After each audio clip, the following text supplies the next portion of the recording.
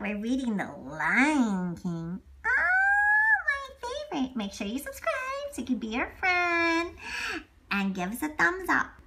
Oh, so the hot African sun rose on the amazing sight of the Kangageti. And there's zebras and giraffes and elephants and all the animals gathered around to see the new lion cub. King Mustafa and Queen Serbi watched as Rariki, bamboo monkey, hold up the little cub on top of the mountain so all the animals could see. Oh, and then Mustafa's brother was very angry. The kingdom should belong to me. You should have been at the ceremony. Oh, yeah. Yeah, should I have, brother? Yes, brother. You should have been at the ceremony to support the family. Hmm. Well, the little baby cub was named Simba and grew grew into a playful and curious cub. Every day in the morning, Mustafa brought Simba to the top of Pride Rock. See, son? All this out there is yours. One day the sun will set on my time here, and you will be the new king. Wow! cried Simba. Isn't it beautiful? You mean I'm to be king of that? I want you to be king, Dad. Yeah, I'm a lion king, but I'm training you, my son, to be the next lion king. Oh, a king can do whatever he wants. That's really cool. There's more than just ruling. You gotta know things, son. Oh, Dad, you're so cool. I love you, Dad. I love you, son. Look at that. What's that? A little cricket and grasshopper? There's so much in the world to see and to do. Oh, it's so cool. Just then, Zitzu arrived with some important news. Hyenas have crossed into the land, the Pride Land. Matsuba told Zuru to take Simba home and run off to battle the hyenas.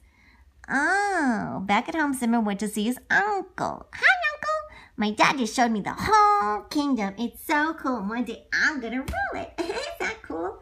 Oh, really? You're going to rule? Did he show you the place beyond the he hide that from you?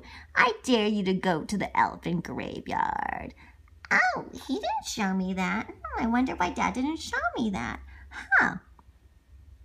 That's interesting. Simba set out to find his best friend, Nala. Hi, Nala. How are you? Hi, Simba.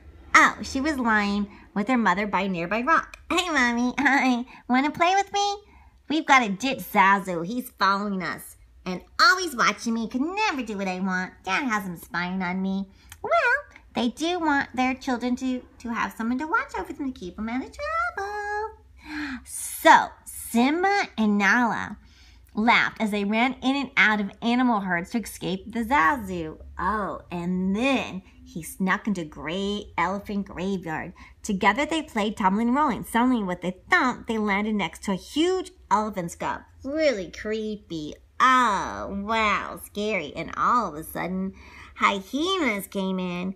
Oh, Banzu, Shenzi, and Ed were drooling hyenas with sharp teeth and surrounded them. Hello, little cub.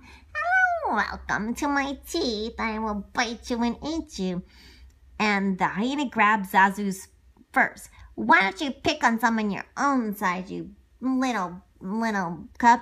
Suddenly, tremendous roar shook the ground. Roar! It was Mustafa. Roar! His giant paw struck one of the hyenas as he growled, If you ever come near my son again. The hyenas ran away before he could finish. And so, Oh, Dad, I shouldn't have gone there without you. Mustafa scolded his son on the way home. You disobeyed me, Simbu. I was just trying to be brave like you, Tessima. But being brave doesn't mean you go looking for trouble. Oh, but I was just curious. I just wanted to explore. Well, son, there's so much to see in the sky. But home with you, where I know you're at, is always nice. Yeah, Dad, I love being with you. oh, spoils. You didn't get the little cub. Well, we tried, but Mustafa interfered. Scar was very angry when the hyenas told him that Simba had escaped. He quickly came up with a new plan to get rid of Simba and his father. I will be king. Hello, Simba. Hi, Scar. What you doing? Oh, having a great day. How about you, little buddy? So Scar signaled the hyenas to frighten a herd of wildebeest and the panicked animal stampeded right towards Simba, and he was holding on to a branch. Mustafa looked into the gorge and saw his son hanging on the branch with the wildebeest all around him. Son, I have to come get you. Simba was safe, but just then Scar pounced on Mustafa. Brother, brother, help me, brother. Oh, really? Long live the king. push, push. Oops, oops, whoopsie, whoopsie. Did you fall down, brother dear? Simba had been the only father, and he had fallen down. And, and he was stampeded on. Simba ran to Mustafa. He tried to wake him, but the Lion King was dead. Dad, Dad, Dad, Dad. Scar came to Simba's side. If it weren't for you, little cub, your father would still be alive. Run away and never return. Shameful young cub to do that. Heartbroken, poor Simba ran away and really believed that it was his fault that his father went to heaven. It's all my fault. It's all my fault. I should have listened to my dad. I'm always getting into trouble and and, and going up. So Scar was certain Simba was dead. He went back to Pride Rock and told everyone the news. It was with heavy heart. He lied that I become your new king. Meanwhile, Simba was far away in Prad's land. The ground turned to dry and cracked beneath him. The sun was hot, and above was circling buzzards and vultures. Oh, little Simba will be good to eat, yeah. But just then, Simba woke, and everything around him was different. There was trees and grass and flowers instead. And then he met a muskrat named Timon and a warthog named Pumbaa. Hello, who are you? Hello, who are you, long dog? Oh, you nearly died, said Pumbaa. Yeah, you did. A good thing that we came to your side, little cub. Oh, well, that's so nice of you. Pumbaa asked him about where you from, but Simba didn't want to even answer. I did something really, really terrible. I know. I just I did something bad. Oh, you gotta put your troubles behind you, kid, said Timon. No past, no future, no worries. The the hyena Mata said. Oh, yeah, you can be our buddy. Years passed and Sim grew to a big lion, and he had lots of fun with his friends Timon and Pumbaa. One night while he was looking up at the sky, Simba remembered his father's words. Someone once told me that the great king of the past are up there and they look down. The next day, Pumbaa was chasing a bug when a fierce lioness sprang at him and the, the big grass. He screamed and ran as fast away but got stuck beneath the fallen stars. She's got me! She's got me! Somebody help me! Help! No, no, don't eat my friend! Don't eat my friend! Don't eat my friend! Don't eat my friend! Simba wrestled the lioness, but then he realized it was his friend Nala. Nala, it's you. Nala, it's Simba. Where have you been?